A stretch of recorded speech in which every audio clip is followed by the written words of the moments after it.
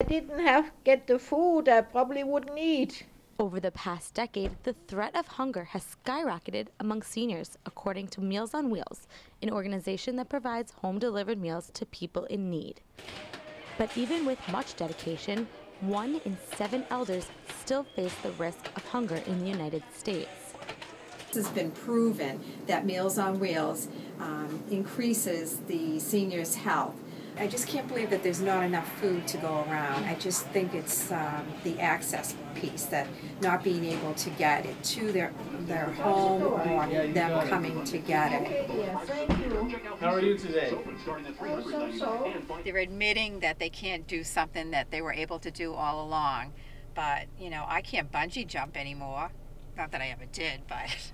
Sometimes the food is very good. Most of it is. But there's just, like I said, a couple of meals that I, that I don't care for. The quiche, I don't like that. What is certain is that the organization packs a well balanced diet in every meal. There has to be a protein source, there has to be vitamin C every day. It's a, a, a truly balanced meal um, for, for them. It's a very balanced meal. And I sometimes heat it up if it needs heating, and then I enjoy it. Right, Peter? Yeah. Peter is one of the many drivers that picks up and delivers the food to the clients each day. What usually happens is I usually get there, I get my food before too many people get there, like I did today. And I take this, this cardboard piece here and I write down on the cardboard piece what it is that I have. How do the clients feel when they receive their food?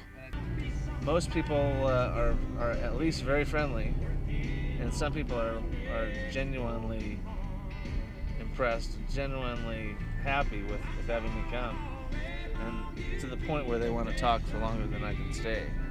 Well, I enjoy the people coming to the door. I, you know, you chat with them not for long because they have to go on their job, you know. But what is his favorite part of delivering food to the clients? I like it when a person uh, smiles and says thank you very much, and you know they're appreciative. Here we go. Very good, Peter. Federal funding is essential for Meals on Wheels. The organization will hopefully be receiving more money as President Obama has promised the country's nutrition safety net for more money to help fight those who are in hunger. For BUTV 10, I'm Casey Rabin.